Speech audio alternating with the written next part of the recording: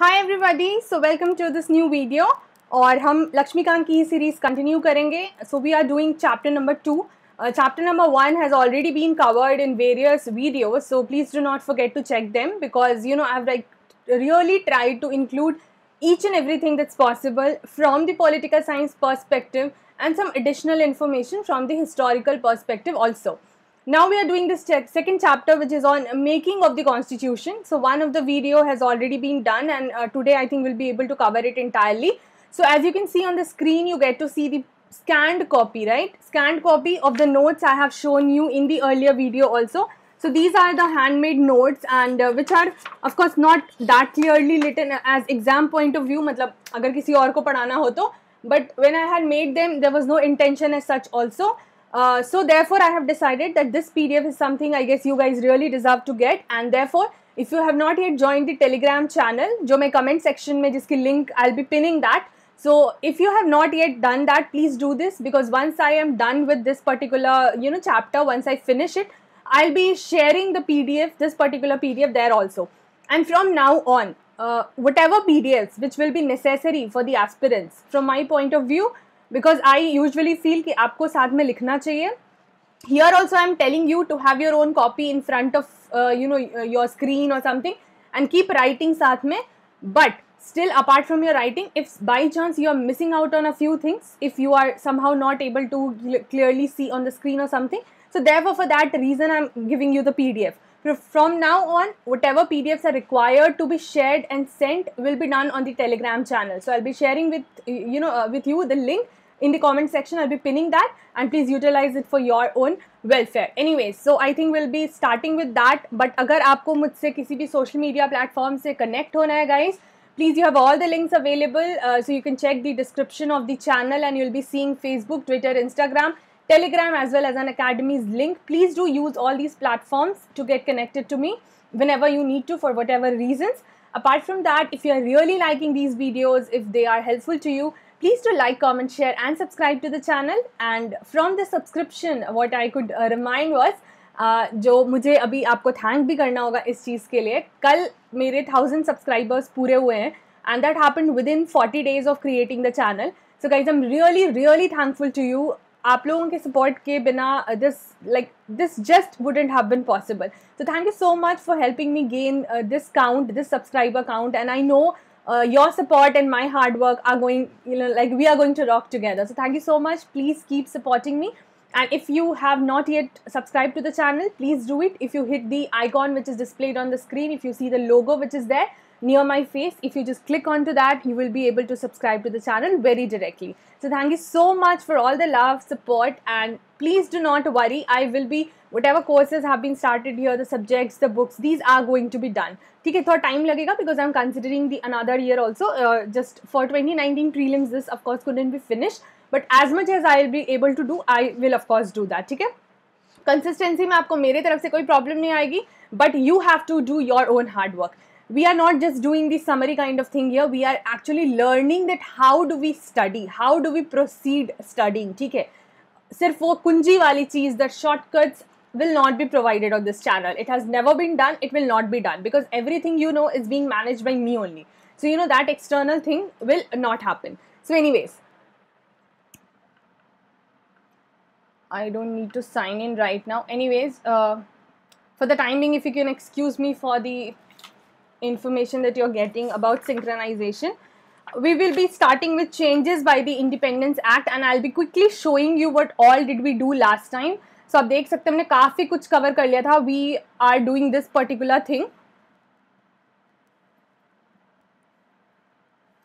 which is chapter number two making of the constitution ठीक है लक्ष्मीकांत की चैप्टर नंबर टू आपको दिख रहा है so we have to do in the topic of constituent assembly we have to do demand Composition, working, committees and criticism and then a bit on constitution which is enactment and enforcement. So we are done with demand and then we are done with composition. अभी आपको दिखने में काफ़ी लग, कुछ लगेगा कि इतना कुछ लिखा हुआ है but if you have you know studied with me like I did in the previous video I, I think आपको बहुत convenient हुआ होगा and then you have working of the constitu uh, constituent assembly which we have already covered in this working only we have also seen about the objectives resolution which is very very important so we have seen all the provisions all the necessary and important provisions of objectives resolution. From here on, what we are continu- continuing is the changes by the Indian Independence Act. Now we already know that Indian Independence Act आई थी 1947 में ठीक है उसके बाद partition वगैरह सब कुछ हुआ that we have already seen in the historical underpinnings. What happened because of this act? What changes were introduced? So constituent assembly में जो चीज़ें होने लगी। Gradually it was joined by the representative of princely states also so earlier they were not participating but gradually this was joined by the members of और the representative of the princely states also and also by the members of Muslim League from the Indian dominion so if you remember earlier Muslim League was also having problem so they were saying that there should be you know to constituent assembly for both India and Pakistan and many things happened so all those provisions we have seen but now the major change which happened was that gradually the other members or the representatives of the princely states as well as the Muslim League members from the Indian Dominion also joined the Constituent Assembly. So this was one of the major change which had happened. Another is three changes happened in the position of Constituent Assembly by this Indian Independence Act of 1940 7. Now what are those three changes? As you can see I have divided them by this broken line here and the broken line here. So we'll be three uh, seeing those three changes. Okay? The first Constituent Assembly could also abrogate or alter any law made by the British Parliament in relation to British India. So, pehle whatever law was being made that was done by the British Parliament and that was done for the British India. But now since the constituent assembly is having that power because they were doing two works together if you remember we have seen uh, and you can see on the screen here also one is constitution making another is law making so now the constituent assembly was the body responsible for making laws so therefore any law which was made by the british parliament in relation to british india उसको भी वो change या alter मतलब change कर सकते थे abrogate कर सकते थे ये उनके हाथ में था now, another uh, thing, another change which happened in their position. Constituent Assembly also became a legislative body, as we have just seen. So, what happened? Two separate functions were performed on separate days. Till 26 November 1949, constitution making was completed. Okay? And what are those two separate functions? One is constitution making, जो उसके provisions पे discussion, debates वगैरह, and another normal ordinary law. Because parliament कब आया picture में? When the general elections happened. when the general election happened 1951-52 उसके पहले law making तो ज़रूरी थी so that law making work was done by this constituent assembly so they were performing two functions and they have now become a legislative body also another thing muslim league members from you know uh, the areas of pakistan they withdrew from constituent assembly for india so this is also what you can remember so now when the members are withdrawing of course there will be uh, limitation or you know reduction in the strength of the members. So now the total constituent assembly strength had come to 299. So from those 299 or among them Indian provinces the seats were 229 and princely states because as we have seen that okay the princely states members also joined so now there were 70 in number okay and a separate constituent assembly was set up for Pakistan because इनके members ने India वाले से withdraw कर लिया था so for this Pakistan the second dominion, a separate constituent assembly was being set up. वो चीज़ हो गई Okay, another important thing which we need to remember is, as you can see here, this is also a part of this only. Constituent Assembly was now a fully sovereign body which could frame any constitution according to it and they could also alter and uh, abrogate the law. तो ये आपका हो गया first major changes and ये वाला हो गया this arrow is giving you the second major changes this arrow is giving you the third major changes in the position of the Constituent Assembly. The areas which were included in Pakistan, so ye boxes mein jo hain, you know, these are the additional informations which you need to remember. So what are the areas which got included in Pakistan? West Punjab, East Bengal, Northwest Frontier Province, Sindh, Baluchistan and Sylhet district of Assam. This we have done earlier also, but again for just for reminding. Okay, uh, we'll see other functions of Constituent Assembly also. We'll just quickly see what uh, we have written, you know, in the box. So the Constituent Assembly met for the first time as Dominion Legislature on November 17, 1947. As we know कि अब ये legislative body भी law making body भी constituent बन गई थी constituent assembly बन गई थी तो डोमिनियन लेजिस्लेचर की तरह जब वो फर्स्ट टाइम मिले वो कौन सा टाइम था uh, कब मिले 17 नवंबर 1947 you will have to be very clear and thorough with these dates तो आपका ये काम है कि अपने नोटबुक में जब आप ये पूरा, आपके पास सब पी डी एफ़ अवेलेबल है स्क्रीन पर आपके सारा इन्फॉर्मेशन अवेलेबल है I am teaching also so your work is that in your notes you will have to jot down all the dates and with that you will have to write make a box ठीक है? इस तरीके का एक separate box बना लेना। Here you keep writing the date and the year and here what happen events on those dates वो बहुत हैंडी आएगा, ठीक है? And elected GV Mavalankar as its speaker ठीक है so that you also need to remember the name of this person who got elected as the speaker जब ये dominion legislature की तरह बैठी जनवरी 24 1950 को क्या हुआ the constituent assembly did three things ठीक है again this date becomes important and you need to remember so what are those three things which were done by the constituent assembly on january 24th 1950 first of all national anthem then national song and first president so who became the first president dr rajendra prasad so these are the ones which you need to remember. और national flag कब आया? Constituent assembly ने कब adopt किया? Twenty second July nineteen forty seven so आपको बहुत clear Laxmikant में भी मिल जाएगा. As I told you you need to have your own copy of the book also सिर्फ़ इस पर डिपेंडेंट नहीं रहना है. Although have included everything but still reference आप वहाँ से भी लेंगे और ये नोट्स को यूज़ करेंगे, ठीक है? Other functions of constituent assembly constitution constitution making major function laws making another major function these are the major functions apart from that also they were performing certain functions for example ratification of India's membership of Commonwealth in May 1949 तो India अब तक Commonwealth की member थी उसमें ratification क्या करने थे वो भी अब कॉन्स्टिट्यूएंट असेंबली ने करा अडॉप्टिंग नेशनल फ्लैग ठीक है ये मैंने जो यहाँ पे बड़े तरीके से लिखा है ना उसी को यहाँ पर शॉर्ट में लिखा है तो आप नेशनल फ्लैग देख सकते हैं ट्वेंटी सेकेंड ऑफ़ जुलाई 1947 इसलिए अब यहाँ मत सोचिएगा कि यहाँ आपको क्लियरली नहीं दिख रहा है so you are in any loss you are not because everything is very clearly mentioned here वो मैं शॉर्ट में इसलिए बनाती हूँ because those are the points which has to be remembered I have anyways taught about this note making skill अगर आपने नहीं देखा है then you probably should see that another function Another function adopted national anthem January 24, 1950. adopted national song January 24, 1950. And I assume you guys know what is the difference between national anthem and national song and what is our national anthem and what is our national song. Okay? And you also need to study more about Indian national flag. So please study these things on your own. And then the other function was to elect Dr. Rajendra Prasad as the first president of India on 24 January 1950. So you need to remember the name of these people and what position did they held here. Okay? Okay, now we quickly uh, move on to see the committees of Constituent Assembly. So basically, this, these committees were set up for different tasks of the constitution making. See, you have to remember and understand कि constitution making was not very easy of a task. ठीक है इतना लंबा जो उनका almost three years से थोड़ा कम का जो उनका span था I guess two years, 11 months and 18 days it was. Uh, I have already taught that also.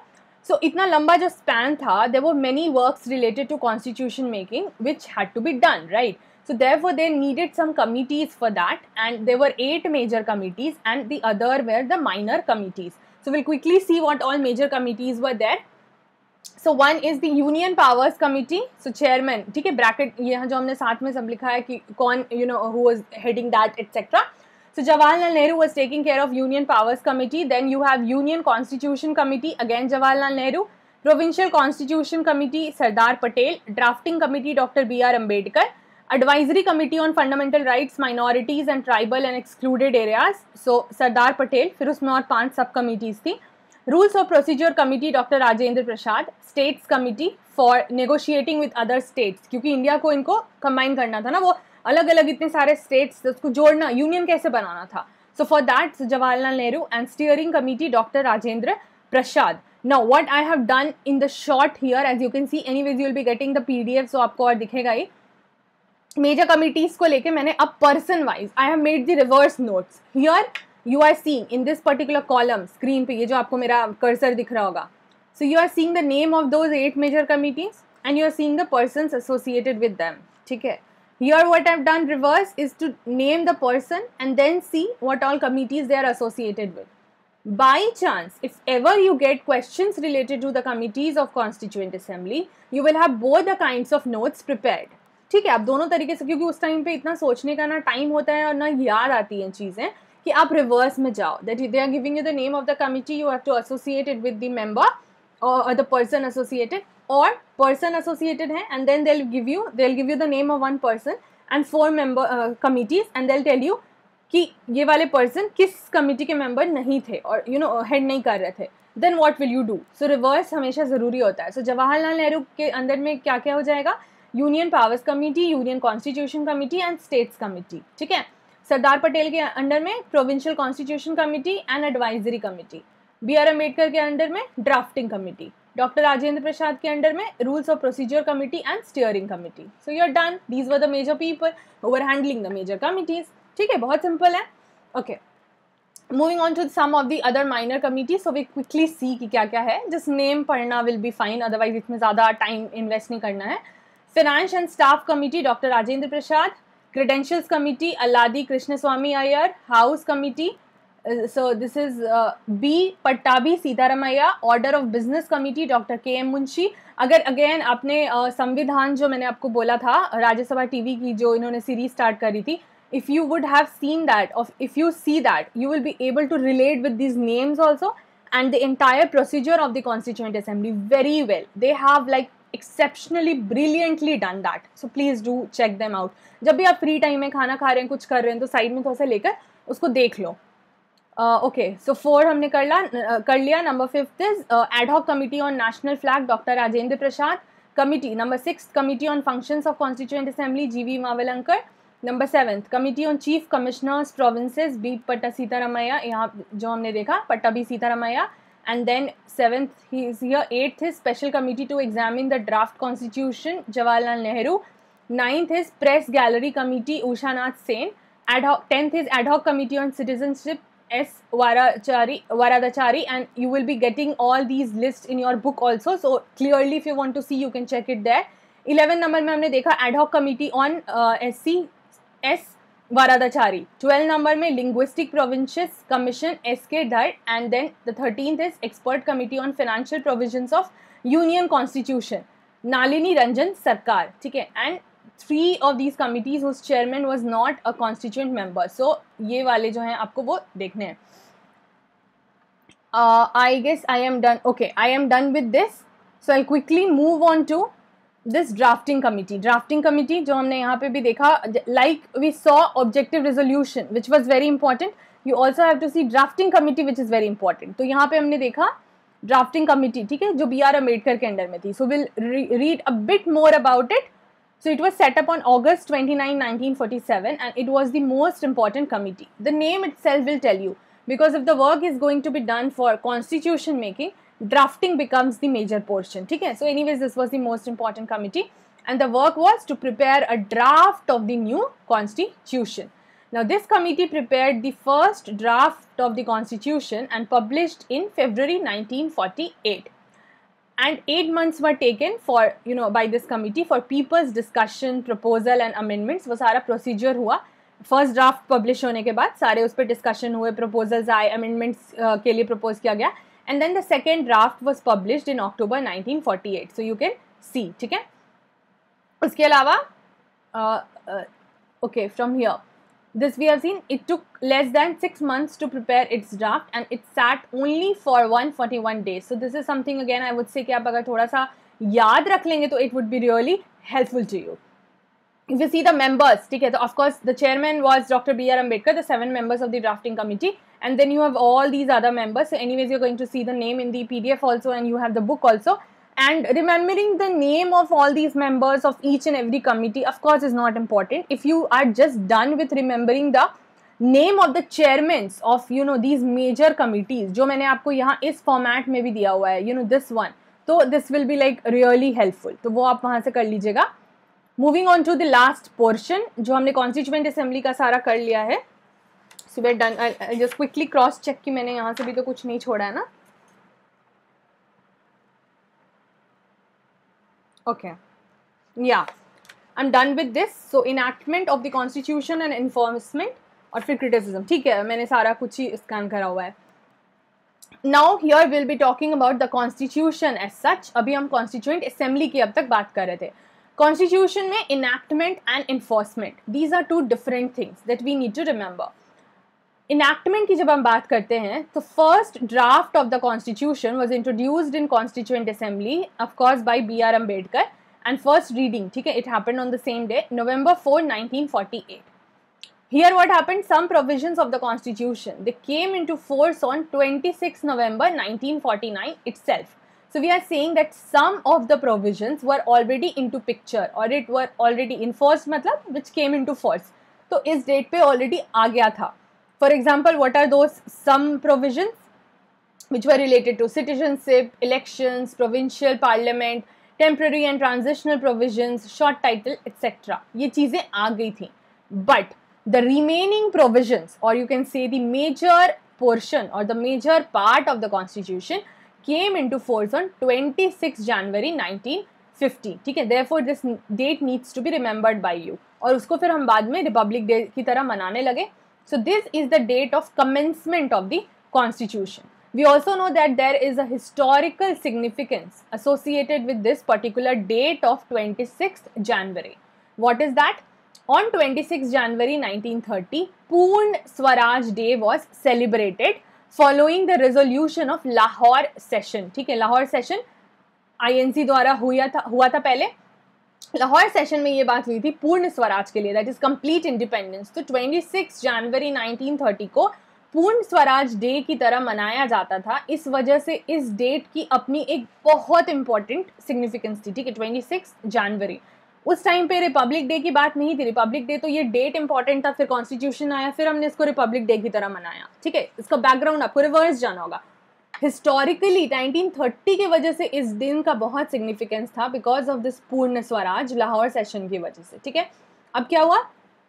कि कॉन्स्टिट्यूशन के काफ़ी प्रोविजंस जो हैं 1949 नवंबर 26 तक हो गए थे, ठीक है? लेकिन since this date was very important and significant what they did was 26 नवंबर को होने के बावजूद दे वेटेड टिल 1950 जनवरी 26 और फिर इस दिन को फाइनली उसको कमेंस किया गया। So their date of commencement of the constitution is this because it had a historical it had historical significance चलो एंड विल क्विकली सी कि और उसके आगे हम क्या देखेंगे but will just move on to a little little bit move on to this on enactment of the constitution also. so we have seen that okay the first draft was introduced in this year by um, you know this person so that we have seen so dr b r ambedkar did that in the constituent assembly the first reading happened general discussion then happened for 5 days okay till november 9 1948 this happened november 4 से november 9 पाँच दिन तक चली then second reading happened उसमें clause wise consideration हुआ clause wise is like जब आप एक एक पर्टिकुलर क्लॉज को पढ़ते हैं, ठीक है? उसके बाद आप उस पर डिस्कशन कर रहे हैं so that happen in the second reading नवंबर 15 1948 से लेके अक्टूबर 17 1949 तक. These dates you do not need to remember first reading की याद कर लोगे तो सफिशियंट है. Then the third reading happen if you will see जब आप पार्लियामेंट पढ़ेंगे और if you have read that how the bills are passed ठीक है? उसमें भी ये सारे फेजेज होते हैं. So therefore on that similar basis only present structure is being used तो थर्ड रीडिंग हुई that began on November that began on November 14 1949 then a motion was passed by dr ambedkar and the motion said, the constitution as settled by assembly be passed. So, constitution अब settle हो गई है। जो अब तक settle हो रही थी कॉन्स्टिट्यूएंट असेंबली के द्वारा, ये सेटलमेंट अलग अलग फेजेस में हुआ। First reading second reading and third reading and finally this constitution was passed so Dr. Ambedkar finally pass this motion saying that constitution is passed. ठीक है So, the constitution was declared passed on 26 November 1949. ये जो date हमने यहाँ पे देखा constitution पास हो चुका था इनैक्ट की बात हो गई थी इन्फोर्समेंट जो हुआ इस दिन हुआ because of the historical significance and what happen on that day members were told to sign you know वो सभी अगर डॉक्यूमेंट्री में दिखाया गया है एंड प्रेसिडेंट ओनली टू यहाँ पे है कि साइन ऑफ़ मेंबर्स हो गए साइन ऑफ़ प्रेसिडेंट हो गया। Only two eighty four out of two ninety nine members were signed ठीक है? मतलब they sign on that day because rest were absent ये, यहाँ पे जो ये वाली बात है, ठीक है, ये that is mention in the preamble also people of India in constituent assembly they adopted enacted and gave to themselves this constitution तो इन्फोर्समेंट और इनैक्टमेंट में क्या फ़र्क है? आई गेस आपको समझ आ रहा होगा। So the constitution was adopted on twenty six of November nineteen forty nine उस टाइम पर उसमें क्या क्या थे? प्रियम्बल था कॉन्स्टिट्यूशन में। थ्री नाइन्टी फाइव आर्टिकल्स थे एट शेड्यूल्स थे। फिर चेंजेस हुए अमेंडमेंट्स हुए एंड थिंग्स चेंज्ड सो उसके बारे में हम पढ़ेंगे। Preamble was enacted after entire constitution was already enacted so this is something this point is like very important when they give you this correct और incorrect statement का they you know do tell कि मतलब they give these kind of lines कि preamble was enacted पहले या बाद में after entire constitution so if someone has not read it very you know in depth so they will feel कि preamble is given in the initiate initial you know pages of the constitution उसकी beginning है, उसका पूरा objective बताता है. So that kind of you know summary पता चल रही है प्रियम्बल से. तो of course that would be done in the beginning but what you have to remember is that preamble was enacted after the entire constitution was already enacted ना doctor B R Ambedkar ठीक है who was the then law minister also he piloted the draft constitution in assembly these are just a few pointers about this person ठीक है. He is also called as father of constitution of India he is also called as chief architect of India and also called as modern Manu so these are the names which has been given to doctor B R Ambedkar so I would say इस चीज़ को आप बिल्कुल एक बार read करिएगा because in prelims these are the things which can figure out as question और अगर आप इसको ढंग से आंसर नहीं करेंगे so it would be a problematic one because notes में तो आपको सब कुछ मिल रहे हैं। What you actually recall and retention आपका कितना रहता है that is important now with the commencement of the constitution certain acts were also repealed for example Indian independence act nineteen forty seven got repealed government of India act nineteen thirty five जिसके काफ़ी provision constitution में लिए गए हैं that also got repealed but continuation of abolition of privy council jurisdiction act nineteen forty nine that happen ठीक है? तो ये हो गया। उसके अलावा ये this was all about the enactment and enforcement of the constitution difference था डेट्स थे वो कॉन्सेप्ट थे, वो हमने कर लिया। Moving on to the committees sorry the communities which you know were representating in the constituent assembly so you had all the different kind of committees Hindus Muslim schedule caste Indian Christian backward tribe six Anglo Indians and Parsis but apart from the constituent assembly being the constitution maker i mean you know carrying out the work of constitution making or law making they were also criticized for a few of the reasons. So this is also important that we try to understand that what were the reasons or the factors which led to the criticism of the constituent assembly the first criticism which was said again they can give you don't consider these topics to be lightly ठीक है लक्ष्मीकांत में जो भी दी हुई है ना उसको पढ़ना सच में बहुत ज़रूरी हो जाता है डोंट कंसिडर देम लाइटली कि ये सब तो प्रीलिम्स में नहीं आएगा सिर्फ़ आर्टिकल्स आएँगे ऐसा नहीं होता है so see the first criticism which they gave was that it was not a representative body. Why? Because they said, although the members were present from all different communities, but they said that the members were not directly elected by the people of India on universal adult franchise. If you remember, we have already seen about it.